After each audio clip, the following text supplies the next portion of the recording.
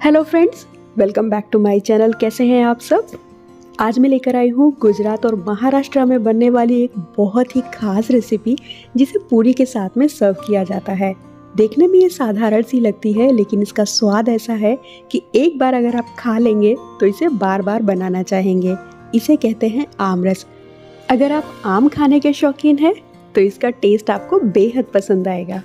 Video अच्छा लगे तो लाइक करिएगा। चैनल पे पहली बार आए हैं तो सब्सक्राइब करना बिल्कुल मत भूलेगा तो चलिए बनाते हैं ये आमरस पूरी।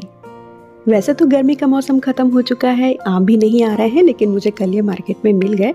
अगर आपको आम नहीं मिल रहे हैं तो आप फ्रोज़न मैंगो पल्प का यूज़ कर सकते हैं, उससे भी ये बनाया जा सकता है। ये हाफुज है, आप केसर से बना सकते हैं या जो भी मीठा आम आपको मिले वो यूज़ कर सकते हैं। कच्चे आम अगर लग रहे हैं तो उनको यूज़ नहीं करना है। मीठे और पके हुए आम चाहिए हमें। इन्हें लगभग दो से तीन घंटे के लिए पानी में भिगो देना है और इसके बाद हम इसका पल्प निकाल लेंगे। तो सबसे पहले इसे पील करके हम इसे छोटे छोटे पीसेस में कट कर लेंगे। मैंने यहाँ पर लगभग पाँच से छः आम लिए हुए थे। आप अपने हिसाब से क्वांटिटी कम ज़्यादा कर सकते हैं। इसमें हम डाल देंगे चीनी। आप अपने टेस्ट के हिसाब से जितना भी चाहें उतना मीठा कर सकते हैं। ये पूरी तरह से ऑप्शनल है, आप इसे बिना चीनी के भी बना सकते हैं। तो इसे हम ग्राइंड कर लेंगे और बहुत ही फाइन प्यूरी बनानी है आपको, उसमें बिल्कुल भी पल्प नहीं होना चाहिए। अगर आपके मैंगो में फाइबर्स हैं तो प्यूरी बनने के बाद में आप उसे छान लीजिए, क्योंकि इसमें अगर फाइबर्स आएँगे और मुँह में जाएँगे तो उसका टेस्ट बिल्कुल भी अच्छा नहीं लगता है। तो ये देखिए प्यूरी बन के यहाँ पर तैयार हो गई है।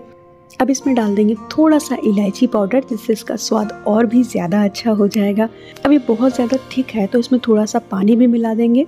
आप कंसिस्टेंसी अपने हिसाब से रख सकते हैं। आपको ज़्यादा थिक चाहिए तो आप ऐसे ही रखिए। रनिंग चाहिए तो पानी थोड़ा सा ज़्यादा मिला लीजिए तो ये देखिए, मैंने इसमें थोड़ा सा पानी मिला के इसको वापस से चलाया है।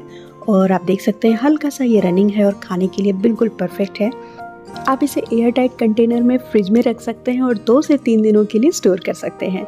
तो ये हमारा आमरस बन के तैयार हो गया है। आप चाहें तो इसे ऐसे ही सर्व कर सकते हैं या फिर मेरी तरीके से में कुछ केसर के धागे भी डाल सकते हैं, जिसे दिखने में बहुत ही सुंदर लगता है और बहुत ही प्यारा सा कलर आता है। इसे हम सर्व करते हैं पूरी के साथ में तो पूरी भी बना लेते हैं। परेशान मत होइए, यहाँ पर पूरी की रेसिपी मैं लेकर नहीं आई हूँ।